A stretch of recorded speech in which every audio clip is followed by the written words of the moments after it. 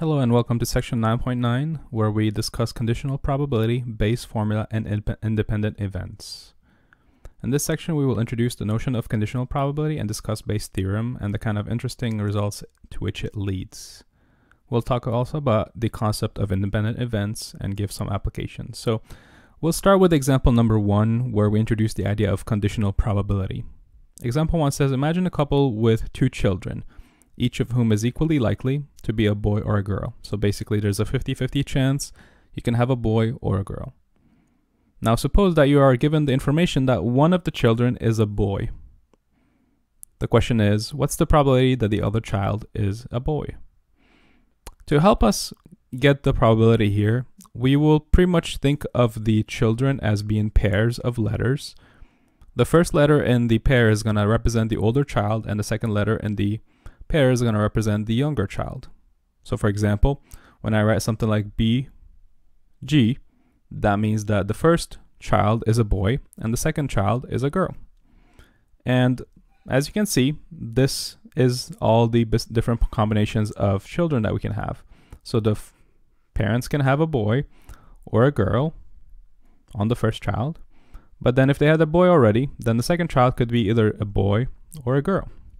And if the first child was a girl, then the second child could be either a boy or a girl again.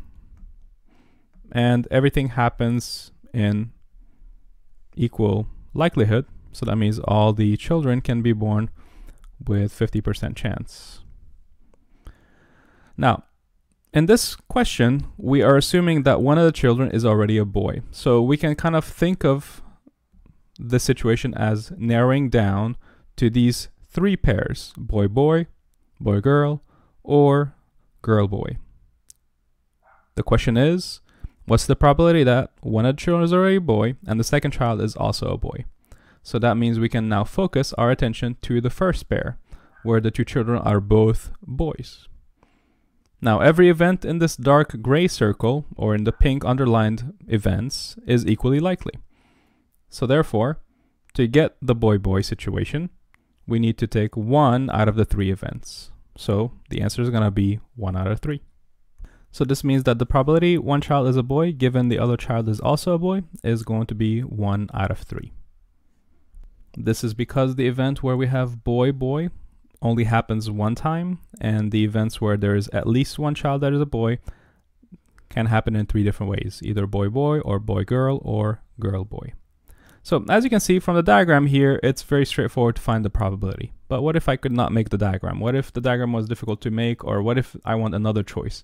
What's the moral or what's the reasoning behind this? This is where we get this formula down here. This is where we're going to be using the formula to answer those kinds of questions. So the little slash that you're seeing right here between B slash A, that slash represents the word given. So when I read this, I'm reading the probability of event B given that A already happened. And so the question is, what's the answer to this one? How much is the probability of B given that A is already true? Well, according to the formula, it's the probability of A and B divided by the probability of A itself.